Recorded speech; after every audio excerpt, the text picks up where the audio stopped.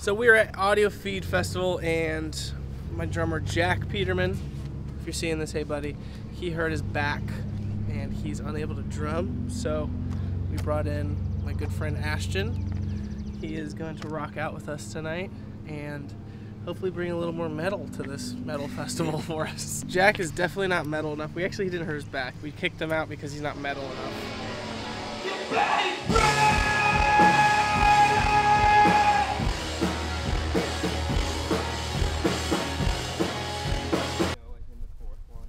Uh, they said we're performing in one of these tents. I think that's it. That's it. That's the one.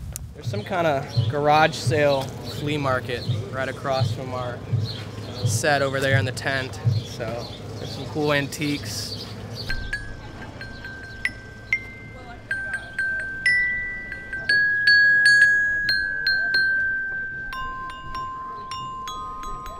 Maybe you are the sun, maybe I am the gun, baby.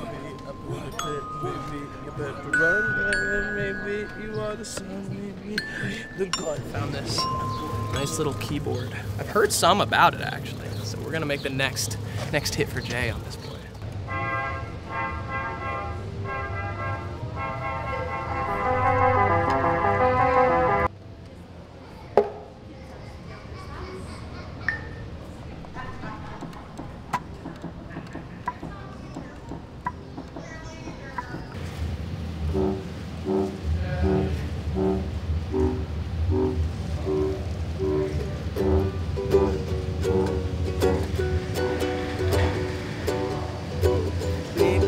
Are the sun, maybe I am the gun, maybe I pull the clip, maybe you better run, maybe you are the sun, maybe I am the gun, maybe I pull the clip, maybe you better run. Truth is, I'm not the kid, but a parasite. Too much blood might have some other people terrified.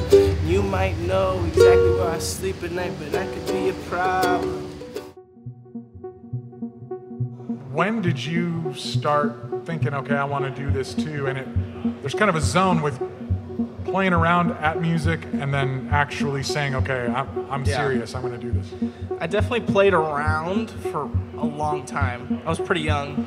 Uh, I always played the piano, played the bell kit in the middle school band, and uh, it wasn't until probably like 2019 where I decided that I want to release music. But it definitely just studying it, making a bunch of terrible songs, a lot of terrible songs.